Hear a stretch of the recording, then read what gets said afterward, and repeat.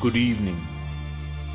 Once upon a wall of stone sat Humpty Dumpty all alone, shrouded in a web of gloom, his fate as near as tomorrow's tomb.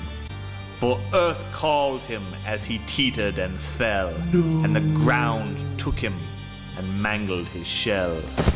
All the angels in heaven and demons below were soaked in yolk as they fought for his soul.